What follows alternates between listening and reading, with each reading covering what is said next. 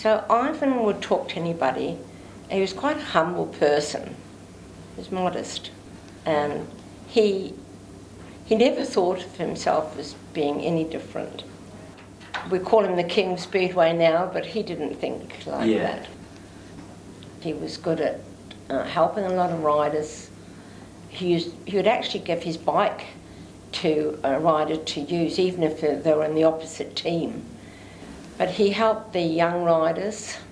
He actually, the New Zealand riders, he mentored a few of them. He sponsored a few of them and encouraged them to go to England. He actually run the training schools from one end of New Zealand to the other. When he was 15, he left school and was working. So it was all a matter of saving. We saved, both of us were saving for him to go to Britain to race. And to go to Britain to race was the only thing to do if you wanted to be a world champion. Tracks were actually all over New Zealand, hmm. but Christchurch was the big one. And it's where they brought all the overseas ri- riders to race, where Ivan got the idea if these guys can come into town and be so great, I want to be like them. That's another reason why he wanted to go to England. When Ivan was racing, it was an individual world championship, not a Grand Prix. Uh, it was a, a different way than they run it today. There was thousands and thousands of people watched. 120,000 at one of the tracks in uh, Poland, and 90 odd thousand at Wembley in England.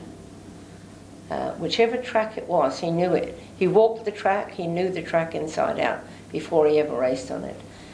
And if he went back there, he still walked the track. And it was like it, he felt it. And then he'd put his head down, not always, but quite a lot of the time, he'd put his head down, and just before he went out towards the tapes, and he would see himself going over the finish line, and it worked. And when he became world champion, he wasn't satisfied. It had to be another one and another one. When he won the third one, and the gentleman, Ray Bokelman, in California, said to send the bike over, uh, that he would have it gold plated if he won it. And then what was amazing, I- Ivan thought, oh, he won't bother. Didn't bother contacting him. And then he got, those days we had telegrams and faxes and things mm. like that. And Ivan got word, we're waiting on the bike. So he then sent the bike over to be gold plated. I think he'd like to be remembered as a person that was man made, that came from an ordinary family, an ordinary working class family, very little schooling, and he achieved.